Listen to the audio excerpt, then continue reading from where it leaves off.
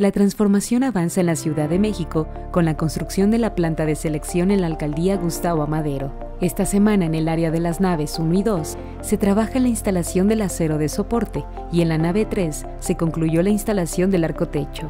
Al interior de estas naves se continúa con la conformación de la estructura metálica para el mirador, los soportes de equipos fijos y paneles de paredes.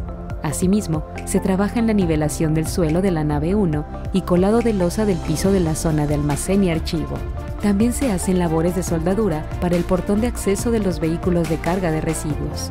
Con la segunda planta mecánica de selección, cumplimos el compromiso de convertirnos en una ciudad sustentable y de basura cero. Seguimos trabajando.